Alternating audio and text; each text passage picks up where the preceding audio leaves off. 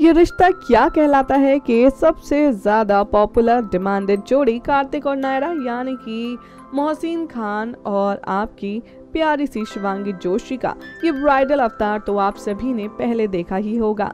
लेकिन हमारे सामने एक नई फ़ोटो हाथ लगी है, जो है बॉलीवुड एक्टर शाहिद कपूर और अमृता राव के विवाह फ़िल्म से उनके शादी वाले सीक्वेंस की। और अगर आप इन दोनों फ़ोटोज़ पर गौर डालेंगे तो काफ़ी हद तक नायडा और कार्तिक का लुक शाहिद और अमृता राव के वेडिंग लुक से मिलता जुलता नज़र आ रहा है।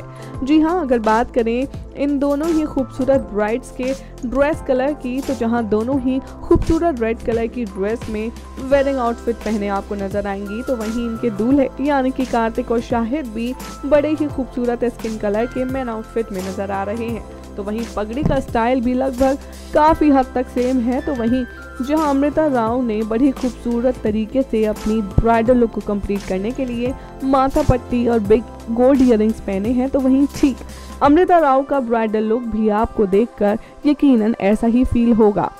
वेल well, हम तो यही कहेंगे कि अगर कॉपी किया भी है तो बड़ा ही खूबसूरत तरीके से किया है क्योंकि जितनी प्यारी अमृता राव और शाहिद अपने इस ब्राइडल अवतार में नज़र आ रहे हैं उतनी ही कहीं ना कहीं कार्तिक और नायरा भी टीवी स्क्रीन की सबसे खूबसूरत ब्राइडल जोड़ीज में से एक इस सीन से बन गए हैं।